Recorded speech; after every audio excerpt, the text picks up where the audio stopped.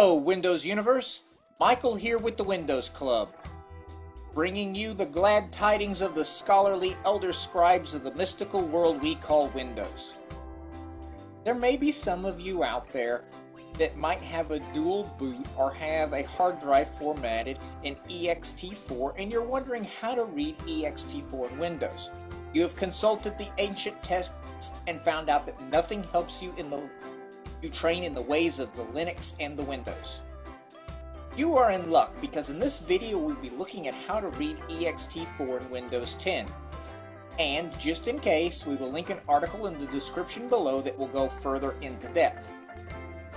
So, a little background before we get started. ext4 stands for Extended File System 4, and it's the file system for Linux. Now, while Linux will support NTFS, Windows does not support ext4. So in short, Windows cannot read ext4. However, there are some third-party software applications out there that work in Windows that can.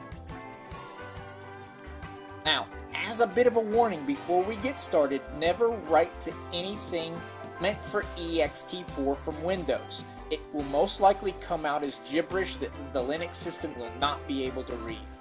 Oh. The first application we have is DiskInternals Linux Reader.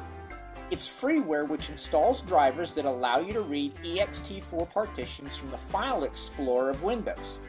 It supports not only the reading, but you can view and copy files and folders as well.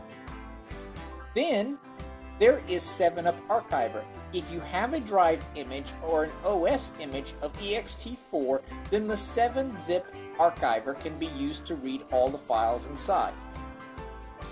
Then we have ext2read.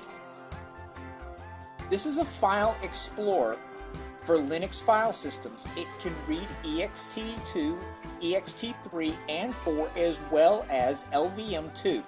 You can view copy files and folders from ext4 into a Windows partition. It supports recursive copy of file and folders, making it ideal for when you need to copy a large number of files.